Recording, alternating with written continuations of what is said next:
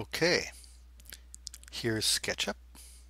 We're going to open up the door maker for the cabinet doors and we're going to pick the default which is a single arch door in cherry. We'll do the one click and accept all these defaults.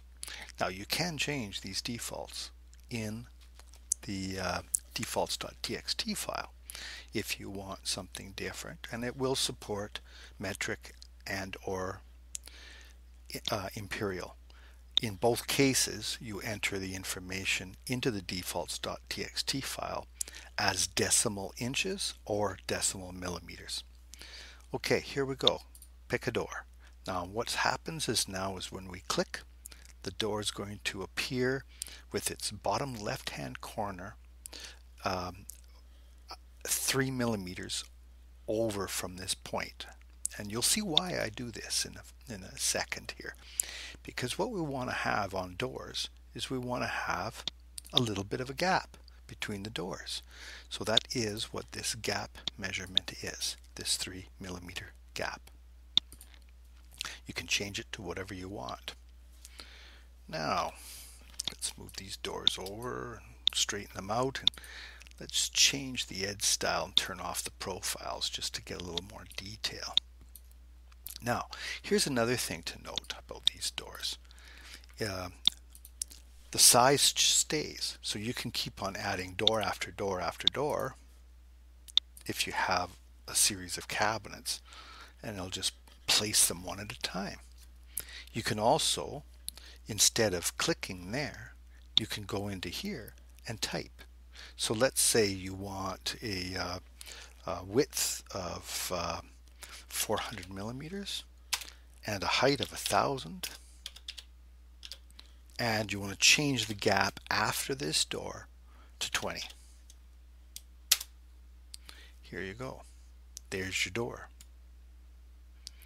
Okay now let's uh, get rid of the door. We support the control Z or undo and if you take a look at the uh, door calculator, we've now taken the width, the height, and the door gap and make use of it. So now when we go click, there's a 20 millimeter gap and you have a different door height.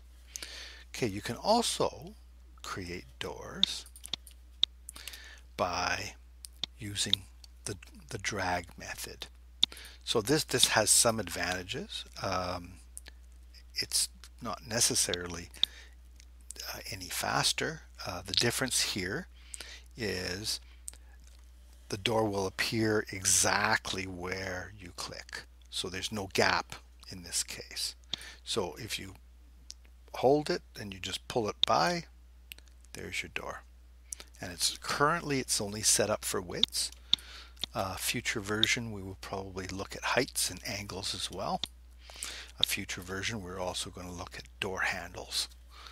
Uh, but anyway, here's your doors. Now, the customer says, hey, cherry's nice, but I want something different. Well, there's an easy way of handling this. You can bring up your uh, materials editor, go into the in model, and you'll see the two woods, um, uh, two materials. One is horizontal and one is vertical. Okay, so if you double click on one of these, uh, it will tell you the name of the file. So we can just click on this button here and browse. Uh, it knows where I keep my images, so it will remember and come back here all the time. So this is the horizontal one, and we're going to change it to uh, Baltic. There we go.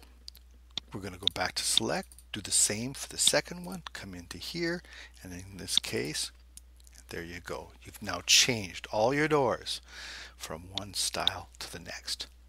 But then you say, well, you know what? Just hold on here now. I don't want to do that for all the doors. I want to change this one door. Okay, so what you need to do is you have to double click on a door.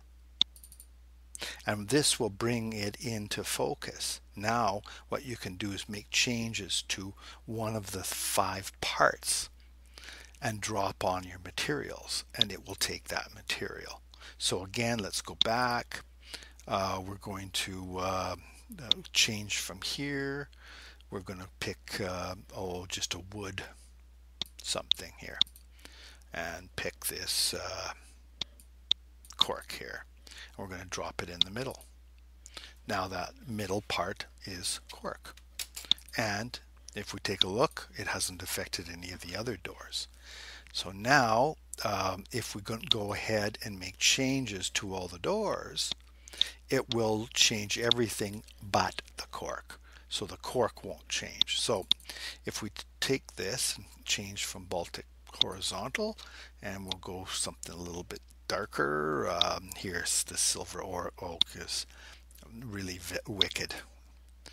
And we're going to go the same for the horizontal or the, the vertical, I'm sorry.